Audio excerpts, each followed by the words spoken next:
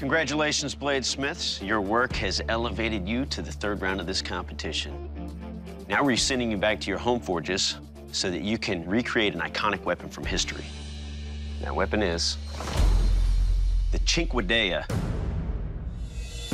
Developed in Italy during the Renaissance, the Cinquedea gained popularity among civilian noblemen.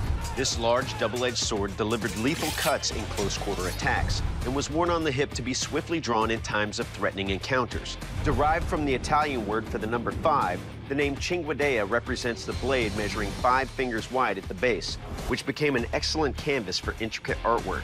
With functionality in mind, swordsmiths also included fullers to lighten the weight of this otherwise heavy sword. Although the Cinquedea lost its popularity after the 16th century, it has recently made a comeback in the video game Assassin's Creed. Good luck, bladesmiths. We're here at my home forge in Kailua Kona, Hawaii on the Big Island. This is gonna be the most challenging thing I've made so far. I don't even know how to pronounce it. I'm using a leaf spring that I got at a junkyard. I find there's a beauty in taking something that somebody would throw away and making it into something they keep forever.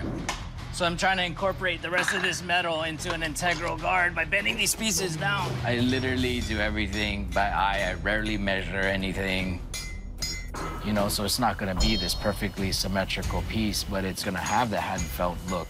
They didn't do it back then on some machine. They were doing it by hand. This acute swell is not comfortable in your hand. It's like the opposite.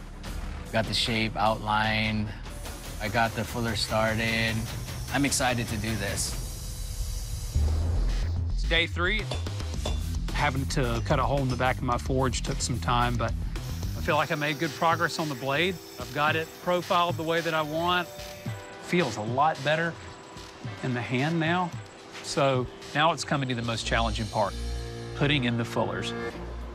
So I've got the blade in the mill, and the milling bit is just skating right over the surface. It's polishing, it's not cutting. So option B is to try freehanding it with a file, and the file is just dancing over the surface of the blade. So option C is to try to freehand it on the grinder. That just looks terrible. This is like a perfect storm of anxiety.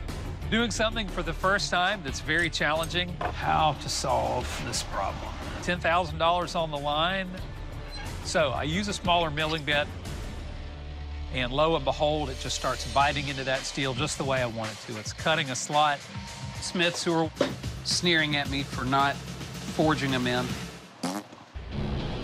Day three, and it's hard to sleep because all I think about is this sword. I want to show to the judges that I'm not afraid of work and that I can accomplish something that I put my mind to. It's the most important step. I'm about to hit a heat treat. I couldn't wait to do it all day, and now that it's time, I'm scared because it could fail. Worst case scenario, my blade could warp, it could crack. And then I would have to start all over again.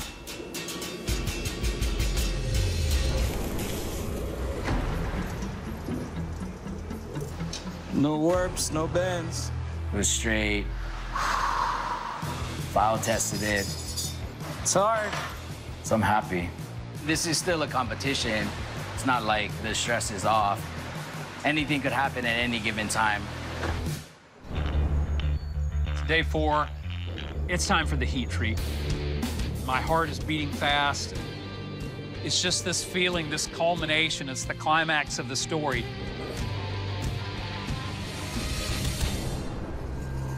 If anything is going to go wrong, it's going to happen now. As I'm watching it, I can visibly see it starting to curl over.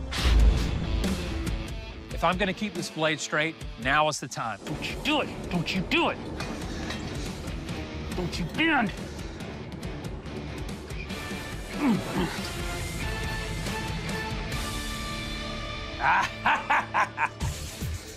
Boys and girls, we have got a hard, straight blade.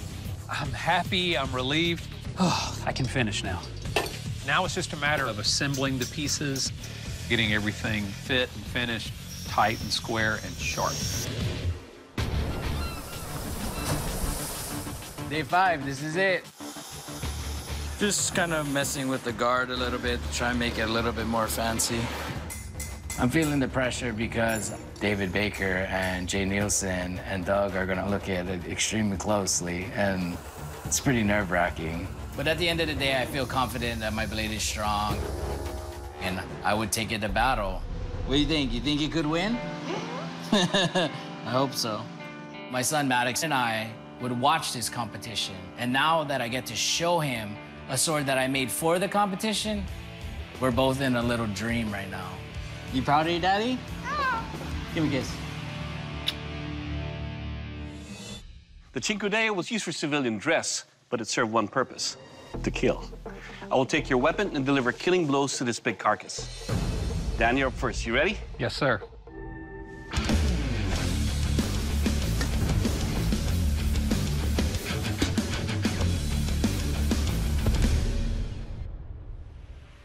All right, Dan. On the backhand slash, cut all the way through and lacerated the ribs. On the other edge, it cut the spine in half. The balance of the blade makes it very wieldable in combat. Your weapon will kill. Thank you. All right, Neil, you ready? Ready? Let's do this.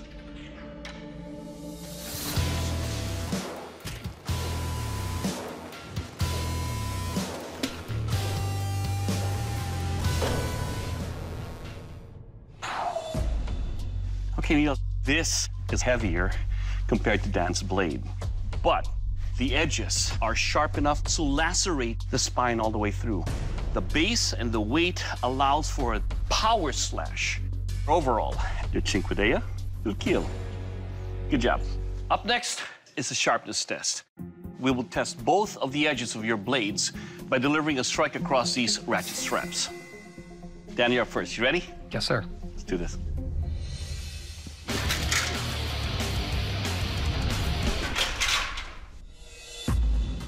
My hand will tend to choke up all the way to the guard. This weight distribution basically pulls the blade away. Definitely the sword on both sides is easy enough to slash through and deliver a slice that cut through all these ratchets.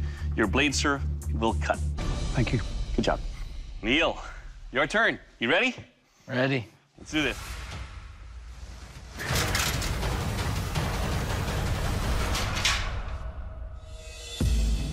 The dimensions of your handle really fit my hand. Anywhere I go, it stays right where it has to be. Your edge easily cut through these ratchets on both sides. Your blade will cut. Good job. Right on. Gentlemen, to test the strength of your weapon, I'm going to chop into this ice block four times with each edge of your sword. Dan, you're up. Are you ready? Yes, sir. Okay.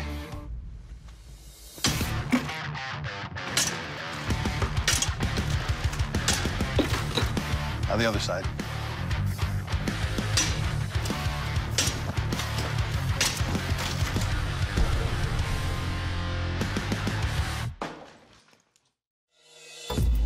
Well, I don't see any chipping or warping, so the edge held up very nicely. That guard is so lean that as I'm striking, the blade wants to turn in my hand. Okay. But I did a good job. Nicely done. So, Neil, your turn. You ready? Ready?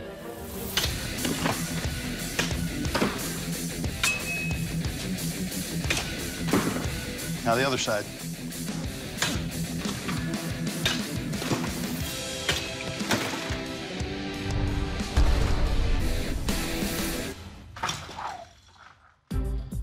This is heavy.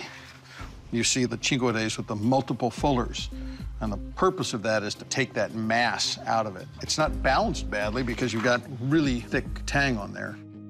I see no damage. I can't feel any rolling. So it held up beautifully. Nicely done. Thank you. Gentlemen, you've both done fantastic work, but in this arena of competition, there can only be one Forged in Fire champion. Neil, congratulations. You are the Forged in Fire champion. Dan, it's that time. Please surrender your weapon. I came here to win. I wanted to win, but Neil made something that was better. I'm going to go home. I'm going to go back to my life, and I'm going to go back to my craft. I still love bladesmithing. Neil, you picked a hell of a way to tell the world that you're here. Congratulations, you are the Forged in Fire champion, and we'll be receiving that check for $10,000. What are you feeling right now? It's overwhelming. Great job.